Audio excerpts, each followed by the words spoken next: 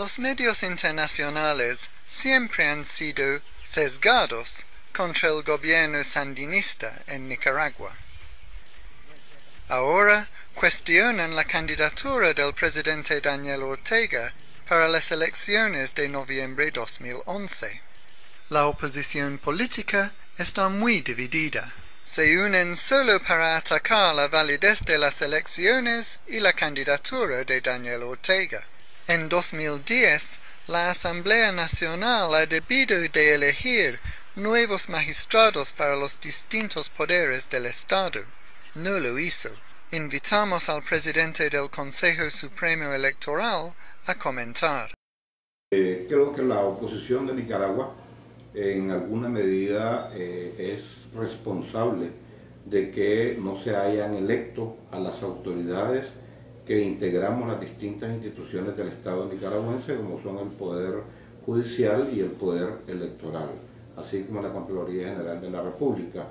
Eh, el presidente de la República en el año 2010, el 10 de enero, en el decreto número 3, emitió, eh, resolvió o emitió un decreto en el cual decía de que las autoridades, que 25 funcionarios que se nos vencía el periodo durante ese año, si no había acuerdo en el Parlamento para elegir a las nuevas autoridades, debían de continuar en el cargo como tal. Posteriormente, eh, también existe un artículo en la Constitución Política, que es el artículo 201, párrafo 2 de la Constitución de 1987, que en sus distintas reformas a lo largo de todos estos años no se ha derogado y el cual dice de que las autoridades de la Corte Suprema de Justicia, Consejo Supremo Electoral, Procuraduría General de la República y otras autoridades, eh, mientras el Parlamento no elija a las nuevas autoridades, deberán de continuar en el cargo. Esto ocurre en muchos países del mundo, inclusive en Europa mismo, en España y en muchos países de América del Sur, que cuando los parlamentos no se ponen de acuerdo para elegir a las nuevas autoridades, lógicamente continúan esos cargos. Magistrado Rafael Solís ayudó a formular la primera constitución democrática de Nicaragua en 1987. Sí, lo fundamental para todos los funcionarios que están eh, en esta situación, en el Consejo Supremo, en la Corte Suprema sobre todo, eh, es que la constitución política establece un artículo que mientras no se nombre al nuevo magistrado que va a sustituirlo al anterior, al, que se venció el periodo, él continúa en su cargo indefinidamente hasta que se haga el nombramiento. En este caso no se pudo hacer los nombramientos en la Asamblea Nacional porque no había los votos. Entonces las instituciones no podían desaparecer o, o quedar amarradas o quedar como decimos aquí, cojeando, renqueando, ¿no? Eh, eh, con un pie bueno y el otro malo. Eh, y se hizo como se ha hecho en toda Europa, ¿no? Que la interpretación del artículo constitucional en Nicaragua era para el futuro, como una disposición final, no solamente transitoria para ese momento cuando se aplicó la constitución, que había magistrados con periodo vencido, sino para todo el futuro y los magistrados de, podían continuar en su cargo hasta tanto no se nombraran los nuevos magistrados. Esa, eso es lo que dice el artículo 201, su inciso segundo de la Constitución, y ese es el argumento principal de la sentencia de la Corte Suprema de Justicia, que lo, que lo dejó bien claro. Doctora Alba Luz Ramos explica el derecho constitucional. Es que el presidente y los alcaldes recurrieron al Consejo pedir que les aclarara eh, el artículo 147 de la Constitución relativo a una inhibición que en él se establece para algunos, algunos ciudadanos de Nicaragua, tal como el presidente, el vicepresidente, los alcaldes y vicealcaldes. No así para los diputados a la Asamblea y los diputados al Parlamento Centroamericano. O sea, que dentro de un mundo de iguales, ¿verdad?, de ciudadanos con iguales derechos a ser elegidos, se discriminaban a unos y no se discriminaban a otros. A unos se les inhibía para ser reelecto y a otros se les dejaba en libertad para ser reelecto. De manera que fueron a pedir esa, que les aclararan esa, esa inhibición que fue establecida en la reforma constitucional del año de 1995, o sea que esa inhibición no estaba en la constitución originaria de Nicaragua, que es la constitución de 1987, eh, que es la última Asamblea Nacional Constituyente que nosotros tuvimos y que la, la, última constituyente originaria que nosotros tuvimos en Nicaragua. Todas las demás son constituyentes derivadas, ¿verdad? Que hicieron reformas parciales a las constituciones. Entonces, el Consejo Supremo Electoral le dijo que en ese momento ellos no estaban en posibilidad de, aclararle ese artículo porque no estaban en proceso electoral y como esa es una resolución administrativa, eh, eh, ellos decidieron venirse a la Corte, recurrir de amparo ante la Corte para que la Corte entonces les aclarara si ese artículo estaba acorde o no con el resto de las disposiciones constitucionales y sobre todo con, con, las disposiciones originarias de la constitución política del año 1987.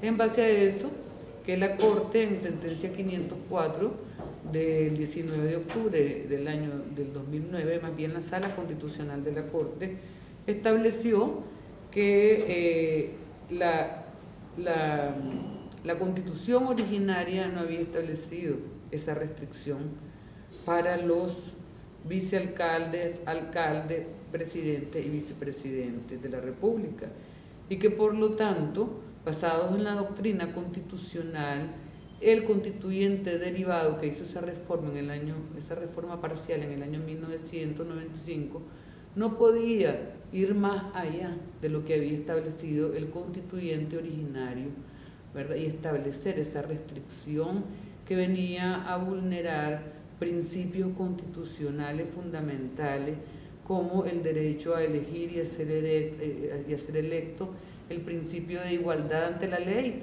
porque establecía una discriminación entre un grupo de ciudadanos, ¿verdad?, entre iguales, y eh, los dejaba en condiciones desiguales, entre eh, un mismo grupo de ciudadanos que eh, tienen el derecho a ser electos, sin embargo a uno les, quitaba ese derecho en determinadas circunstancias y en esas mismas circunstancias se los preservaba a otros, que eso estaba violando entonces el principio de igualdad que está establecido además en la parte fundamental, en la parte de los derechos fundamentales de nuestra constitución, ¿verdad? y que estaba violando entonces principios fundamentales que había establecido el constituyente originario y que por lo tanto había una antinomia que debía de ser resuelta a favor de, los, de esos principios fundamentales que el constituyente originario había establecido y que está basado en una doctrina constitucional y un naturalista alemana y que se ha utilizado en otros países también para dirimir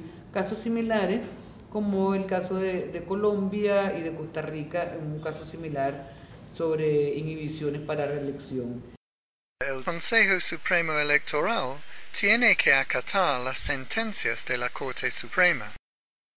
Las eh, resoluciones, y eso es constitucional, de la Corte Suprema de Justicia son de ineludible cumplimiento. O sea, todos los poderes del Estado, ¿verdad? Estamos obligados a acatar las resoluciones de la Corte Suprema de Justicia, quien es quien dirime o dirime al final el problema de si es constitucional o no un elemento que esté consignado en la constitución política.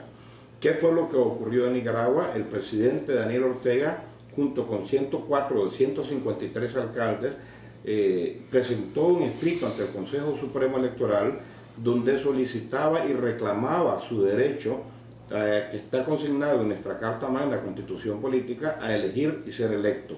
El Consejo rechazó dicho escrito y dijo, respondió diciendo de que no era competencia del Consejo Supremo Electoral decidir si se aceptaba o no la, reelección como tal. Al Consejo rechazar esto, el presidente Daniel Ortega, junto con los 104 alcaldes, se amparó ante el tribunal de un tribunal de apelaciones de la capital de la ciudad de Managua. El tribunal de apelaciones admitió el recurso, ¿verdad?, del presidente Ortega y los 104 alcaldes lo elevó a la sala constitucional de la Corte Suprema de Justicia y éste resolvió de que en efecto el presidente Ortega junto con sus 104 alcaldes tenían derecho a elegir y ser electos, que es un derecho ciudadano consignado en la Constitución Política de la República. Posteriormente esto fue elevado al máximo tribunal, que es la Corte Suprema de Justicia, y la Corte en pleno como tal ratificó lo resuelto por la Sala Constitucional. Esto es un elemento que lo hemos visto no solo en Nicaragua, recientemente lo vivimos en la República de Costa Rica con la reelección del presidente Arias, quien inclusive pasó esperando un tiempo para que la Sala Cuarta le permitiera la reelección presidencial y en efecto pudo ser reelecto. También es una situación similar que con una resolución de la Corte Suprema ocurrió en la República de Colombia con la reelección del presidente Uribe y lo hemos visto en distintos países latinoamericanos. Analistas opositores alegan que la sentencia a favor del presidente Ortega se emitió solo por magistrados sandinistas. Doctora Alba Luz Ramos rechaza este argumento. Para dictar esta sentencia se citó a todos los magistrados miembros de la Sala Constitucional. Eh, eh, los magistrados Damis Sirias, eh, Escobar Forno y, Cuaresma no concurrieron, pero en todas las salas hay magistrados suplentes, entonces concurrieron los magistrados suplentes, por eso es que ellos alegan muy, muy comúnmente de que fue conformada únicamente por magistrados de línea sandinista. Sin embargo, ellos fueron citados y ellos no concurrieron. Pero hay una asistencia posterior a esta del 504 del 19 de octubre del año 2009, que es la sentencia de la que estamos hablando, que eh, es la sentencia número 67 del 8 de marzo del año 2010, o sea, unos meses posteriores a ella, donde sí, eh, de la sala constitucional igualmente, donde sí participaron estos magistrados liberales, Siria, Cuaresma y Escobar Forno, donde se utilizan exactamente los mismos argumentos que se utilizaron en la sentencia de, donde se declaró la inaplicabilidad del artículo 147 reformado de la Constitución Política. Y, eh, es más, se hace alusión a, a esa sentencia 504 de octubre del 2009. Las encuestas indican que el presidente Ortega ganará las elecciones. La oposición política y sus aliados mediáticos han manipulado los problemas constitucionales del país. Sin embargo, las instituciones han resuelto con éxito los problemas provocados por los intentos de la oposición de sabotearlas. Esto ha fortalecido también la legitimidad de la probable victoria electoral del presidente Ortega en noviembre.